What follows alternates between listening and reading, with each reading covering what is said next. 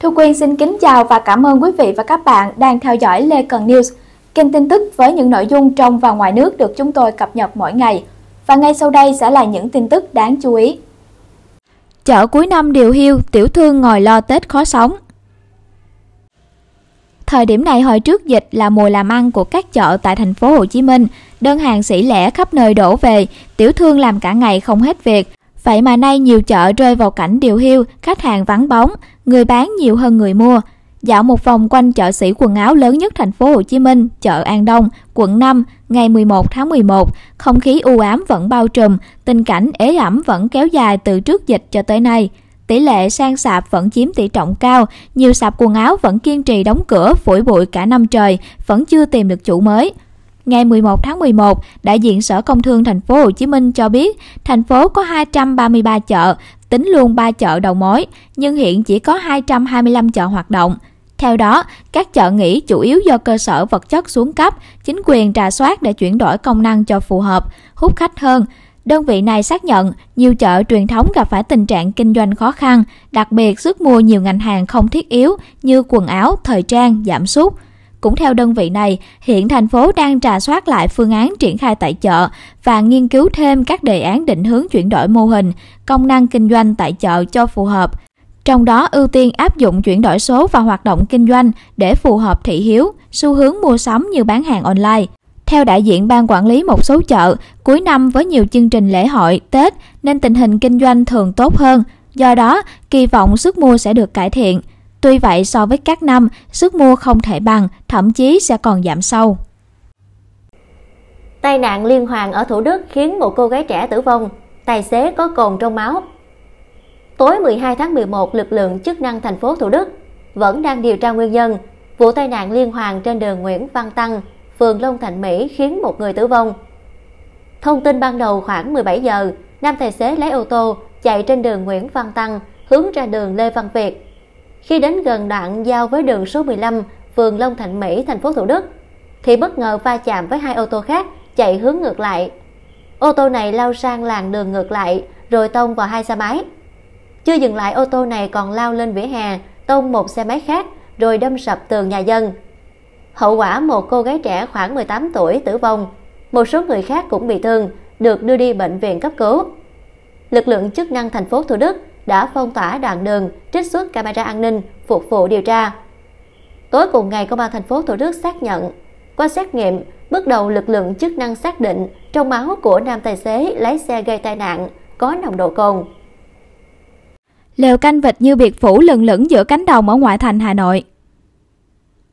Theo phản ánh của người dân, thời gian qua nhiều công trình xây dựng mọc tràn lan trên đất nông nghiệp thuộc xã Quảng Bị, huyện Chương Mỹ, Hà Nội – trong đó nhiều công trình lớn xây như biệt phủ với tường bao vây cao vút, bên trong là biệt thự, nhà thờ rất lớn. Đáng chú ý nhất là công trình như biệt phủ nổi bật giữa cánh đồng. Theo tìm hiểu, căn nhà này là của ông Nguyễn Đình Lâm có diện tích gần 200 m2, xây dựng trên khu đất nông nghiệp với tổng diện tích là gần 3.000 m2. Đi sâu vào phía trong là khu nhà của gia đình ông Bùi Viết Thắng, được xây dựng hoành tráng không kém. Ông Vũ Văn Mạnh, Chủ tịch Ủy ban Nhân dân xã Quảng Bị cho biết, diện tích đất này đã được phê duyệt đề án chuyển đổi từ đất trồng lúa sang đất trồng hoa và cây cảnh kết hợp nuôi trồng thủy sản và trồng cây lâu năm. Trong phương án, khu đất có được phê duyệt xây dựng lều bảo vệ láng nuôi vịt. Theo lãnh đạo xã Quảng Bị, các công trình thờ tự bên trong nhà ông Lâm là công trình nhà thờ của gia đình ông Thắng sinh sống ở Hà Nội xây dựng để tặng dòng họ Bùi. Đây là bãi đất được trồng bưởi xứ Gò Hạt, thôn Liên Hợp, được chia cho gia đình ông Thắng. Công trình này có diện tích xây dựng là khoảng 60 m2 trên diện tích hơn 2.000 m2. Người dân phản ánh là đúng, các công trình này xây dựng trái phép. Ủy ban Nhân dân xã Quảng Bị đã lập biên bản ngăn chặn, đình chỉ và yêu cầu chủ đầu tư khắc phục hậu quả. Sau đó, Ủy ban Nhân dân xã đã quyết định xử phạt mỗi hộ 5 triệu đồng. Tuy nhiên đến nay, các hộ này vẫn chai gì chưa khắc phục được, ông Mạnh cho hay. Diễn biến khó tin vụ gia đình bé gái lớp 6 ép nhà trai phải cưới, Bà Quách Thị Thuận, Phó Chủ tịch Ủy ban Nhân dân xã Kế Thành, huyện Kế Sách, tỉnh Sóc Trăng, cùng các ban ngành có liên quan của xã đến nhà ông Huỳnh Văn Minh, 31 tuổi, và bà Nguyễn Thị Yến Ngân, 34 tuổi, là cha mẹ của Huỳnh Thị Yến Nhi, hiện đang học lớp 6. Nhân vật trong bài viết Gia đình bé gái học lớp 6 ở Sóc Trăng ép nhà trai phải cưới. Tại đây, các ngành chức năng gửi thư mời lên làm việc và tuyên truyền cho gia đình hiểu về quy định của pháp luật trong hôn nhân. Tuy nhiên khi đến gặp gia đình, cán bộ xã chưa kịp nói gì thì bà Ngân đã có thái độ hung hãn, lớn tiếng. Theo một luật sư, thời điểm gia đình làm đám cưới thì em Nhi mới tròn 13 tuổi. Do đó, việc tổ chức lễ đính hôn là không phù hợp với quy định của pháp luật và nhằm để hợp thức hóa cho việc làm đám cưới. Vì vậy, việc tổ chức lễ đính hôn này có thể bị xử lý hành chính. Ngoài ra, nếu quan có hành vi giao cấu với em Nhi thì còn phải chịu trách nhiệm hình sự. Trước đó, sau khi nhận được thông tin có một lễ đính hôn diễn ra ở địa phương, lãnh đạo Ủy ban Nhân dân xã Kế Thành đã cử cán bộ xuống tìm hiểu và phát hiện cô dâu Nhi và chú rể Quang, 20 tuổi, làm lễ đính hôn.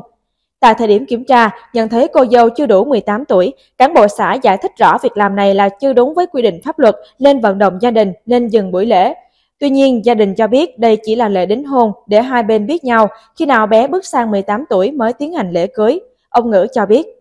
Tìm đến nhà chú rể và gặp được vợ chồng ông Vinh trong căn nhà nhỏ ập ẹp, cha của Quang chia sẻ rằng con trai ông và con dâu hiện tại chỉ mới quen được khoảng 2 tháng. Chuyện hai em quen nhau ông chưa hay biết thì đột nhiên gia đình cô dâu qua tận nhà bắt phải tổ chức lễ đính hôn.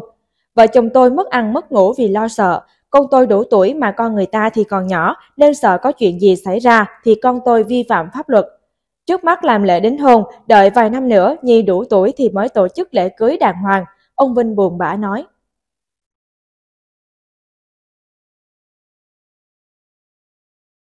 Cảnh báo chiêu trò dùng ảnh gợi cảm phát tán mã độc để đánh cắp tài khoản Facebook. Các chuyên gia của hãng nghiên cứu bảo mật Bitdefender đã lên tiếng cảnh báo người dùng về một chiến dịch phát mã độc trên mạng xã hội Facebook.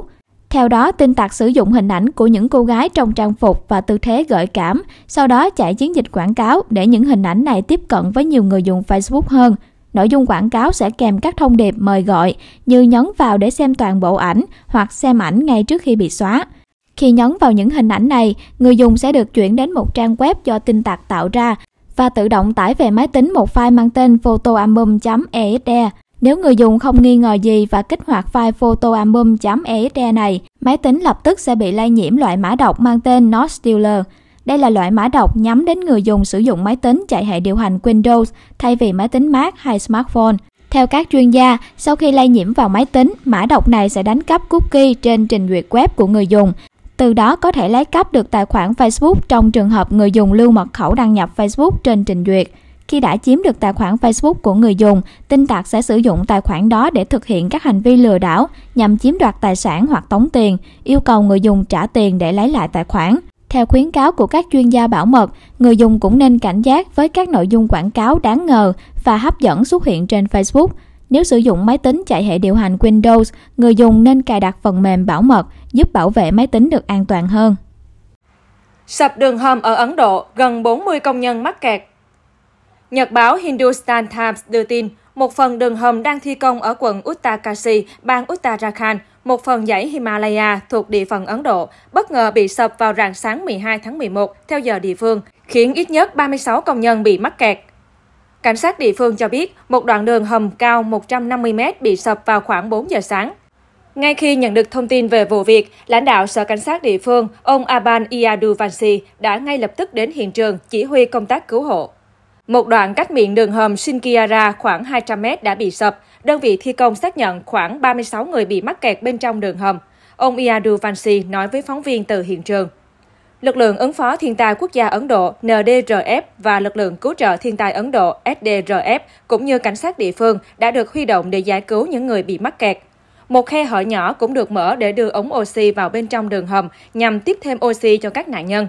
Trong khi đó, nhân viên cứu hộ vẫn tiếp tục dọn dẹp đống đổ nát để thông đường hầm. Các nhà chức trách cho biết một số máy khoan đứng đã được huy động để mở đường vào bên trong đường hầm bị sập, nhưng sẽ mất khoảng 3 ngày để giải cứu những người bên dưới.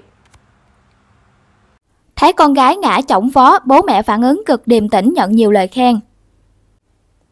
Theo đoạn clip được camera an ninh trong nhà ghi lại, đôi vợ chồng trẻ đang ngồi ăn cơm ở bàn ăn. Tiếp đó, cô con gái cũng tiến đến ngồi xuống ghế, định thưởng thức bữa ăn cùng bố mẹ. Tuy nhiên do không cẩn thận, bé gái vừa ngồi xuống ghế liền bật ngửa ra sau rồi ngã chỏng vó xuống sàn nhà. Thấy con gái ngã, thế nhưng cả bố và mẹ đều phản ứng cực điềm tĩnh, không cười phá lên hay vội vàng bỏ bữa ăn để chạy đến đỡ con dậy.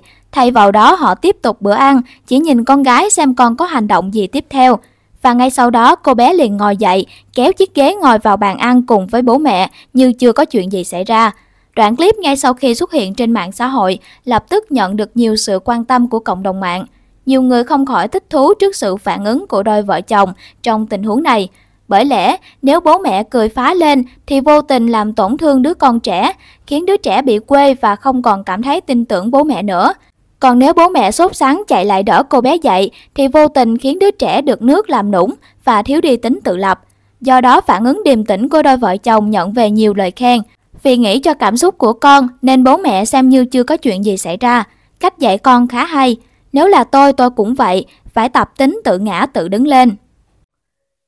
Xác minh ngôn từ lạ tại sự kiện hàng nghìn người Trung Quốc tổ chức giao lưu ở Hạ Long. Ngày 12 tháng 11, thông tin từ Ủy ban Nhân dân thành phố Hạ Long cho biết, đơn vị này đang vào cuộc xác minh làm rõ một số nội dung phản ánh liên quan đến việc tổ chức các sự kiện cho hàng nghìn khách Trung Quốc giao lưu tại quần thể một khách sạn trên địa bàn. Một lãnh đạo Ủy ban Nhân dân thành phố Hạ Long cho biết, trước đó sau khi nhận được công văn của công ty Cường Lâm, ngày 1 tháng 11, Sở Du lịch Quảng Ninh đã chủ trì phối hợp với Công an tỉnh Quảng Ninh, Sở Ngoại vụ Quảng Ninh, Sở Văn hóa Thể thao Quảng Ninh, Ủy ban Nhân dân thành phố Hạ Long, Hiệp hội Du lịch Quảng Ninh tổ chức họp và đồng ý để doanh nghiệp được tổ chức sự kiện trên cơ sở tuân thủ các quy định của pháp luật. Đặc biệt tại cuộc họp, các sở ngành cũng đề nghị Sở Du lịch Quảng Ninh phối hợp Hiệp hội Du lịch Quảng Ninh tăng cường công tác quản lý tuyên truyền. Tuy nhiên, sau khi sự kiện được tổ chức, hai đoàn tại trung tâm hội nghị khách sạn Gop FLC thì một số từ ngữ thông tin lạ được lan truyền. Theo đó, một số đoạn clip ghi lại sự kiện nói trên lan truyền những hình ảnh phát ngôn sai nội dung của người dẫn chương trình, thông tin về cuộc giao lưu. Sự kiện trên đã tổ chức được hai đoàn khách Trung Quốc với số lượng hơn 1.000 người. Sự kiện không được phép biểu diễn nghệ thuật khi chưa đủ một số thủ tục. Ngoài ra, chúng tôi đang giao các cơ quan chức năng vào cuộc xác minh những ngôn từ lạ liên quan đến đoàn khách nói trên. Vị lãnh đạo thành phố Hạ Long nói. Lừa đảo dự án Sâm Ngọc Linh, điều tra đồng phạm giúp Phạm Mỹ Hạnh chiếm đoạt 600 tỷ. Thông tin mới nhất vụ Phạm Mỹ Hạnh, Chủ tịch Hội đồng Quản trị Công ty Cổ phần Tập đoàn Mỹ Hạnh, lừa đảo dự án trồng sâm Ngọc Linh. Sáng ngày 12 tháng 11, Cơ quan Cảnh sát điều tra Công an quận Cầu Giấy, Hà Nội cho biết, đơn vị đang tiếp tục củng cố tài liệu chứng cứ, làm rõ các đối tượng liên quan, đồng phạm giúp sức Phạm Mỹ Hạnh lừa đảo chiếm đoạt tài sản. Đồng thời, triệt để xác minh thu hồi tài sản đảm bảo quyền lợi cho các nhà đầu tư, khẩn trương củng cố hồ sơ xử lý theo quy định của pháp luật. Trước đó, ngày 8 tháng 11, Cơ quan Cảnh sát điều tra Công an quận Cầu Giấy đã ra quyết định khởi tố bị can để tạm giam đối với Phạm Mỹ Hạnh, Chủ tịch Hội đồng Quản trị Công ty Cổ phần Tập đoàn Mỹ Hạnh về tội lừa đảo chiếm đoạt tài sản. Từ nguồn tin tố giác việc Phạm Mỹ Hạnh, Chủ tịch Hội đồng Quản trị Công ty Cổ phần Tập đoàn Mỹ Hạnh có dấu hiệu lừa đảo chiếm đoạt tài sản, thông qua hoạt động quảng cáo giới thiệu về việc công ty cổ phần tập đoàn Mỹ Hạnh đang thực hiện dự án trồng cây sâm Ngọc Linh tại địa bàn tỉnh Con Tum, Quảng Nam.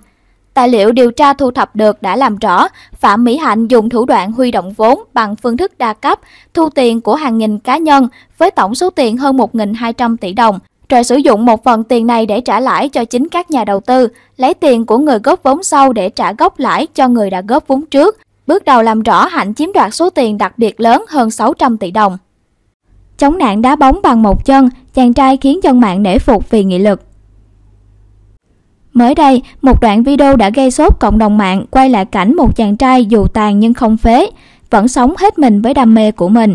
Theo đó, trong đoạn video là hình ảnh những thanh niên trai tráng đang chơi bóng đá cùng nhau. Tuy nhiên, len lỏi trong số đó là hình ảnh một chàng trai nghị lực phi thường, bởi không biết vì một nguyên nhân gì đó khiến đôi chân của anh không còn nguyên vẹn, phải chống nạn để đi, thế nhưng anh vẫn hết mình với đam mê, nhiệt huyết với sở thích của mình. Bất ngờ thay, chàng trai này không vì khuyết điểm của bản thân mà thụt lùi về sau, thậm chí nếu để ý thì thấy anh chàng còn di chuyển linh hoạt và mạnh mẽ hơn nhiều người lành lặn. Đoạn clip ngay sau khi được đăng tải đã khiến dân mạng tranh cãi vì cảm thấy khi anh tham gia vào các hoạt động thể thao chung như vậy sẽ làm khó cho những người chơi cùng vì ngại va chạm. Bên cạnh đó không ít người lại cảm thấy thương và khâm phục trước nghị lực của anh. Một số bình luận được để lại. Một chiếc video tích cực truyền cảm hứng, chúc anh thật nhiều sức khỏe. Anh đã rất dũng cảm khi đối mặt với khuyết điểm của bản thân, thật sự khâm phục. Dự báo dân số Việt Nam giảm còn 72 triệu người vào năm 2100. dân số Việt Nam sẽ tăng lên 107 triệu người vào năm 2044, sau đó giảm còn 72 triệu người vào năm 2100 là hậu quả của mức sinh thấp. Thông tin được tiến sĩ Hà Anh Đức, tránh văn phòng Bộ Y tế, cho biết tại hội thảo mức sinh thấp tại Việt Nam, thực trạng và giải pháp hôm ngày 10 tháng 11 ở Hà Nội. Ông Đức cho biết, một nghiên cứu quốc tế công bố vào năm 2020 dự báo dân số 23 quốc gia như Nhật Bản, Thái Lan, Trung Quốc, Hàn Quốc giảm hơn một nửa vào năm 2100. Trong đó, số dân Việt Nam tăng lên 107 triệu người vào năm 2044, sau đó giảm xuống 72 triệu người vào năm 2100 nếu không có các giải pháp can thiệp nâng mức sinh.